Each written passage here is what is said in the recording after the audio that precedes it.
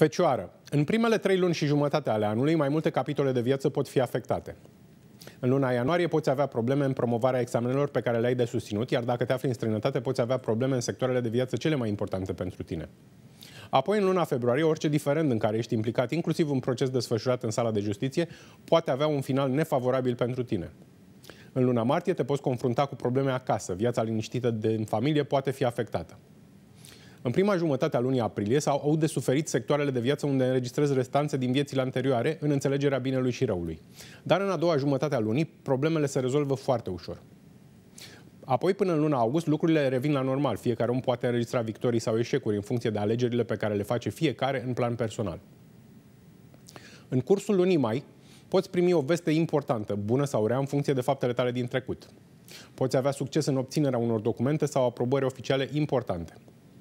Luna iunie este favorabilă rezolvării problemelor de sănătate, deoarece ai un surplus de energie și o stare de optimism. În luna iulie, gradul de simpatie și apreciere de care te bucuri din partea tuturor este în creștere. Poți primi ajutor din partea persoanelor cărora le-ai câștigat încrederea și respectul. În luna august poți înregistra câștiguri sau pierderi materiale din alte surse decât munca și efortul tău. Urmează apoi cele trei luni ale toamnei, nefavorabile din punct de vedere astral.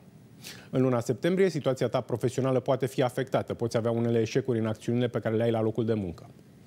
În luna octombrie, sectorul acumulărilor materiale dobândite prin muncă, prin efort personal, este afectat. Câștigurile financiare vor fi sub așteptări. În luna noiembrie, distracția va fi ceva interzis pentru tine. Mai bine eviți petrecerile sau excursiile, deoarece nu vei reuși deloc să te simți bine. În luna decembrie, influențele negative se risipesc. Relația de cuplu intră în centrul atenției tale, nivelul de înțelegere cu partenerul de viață poate atinge cote înalte. Cine nu are un tovarăș de viață își poate găsi unul.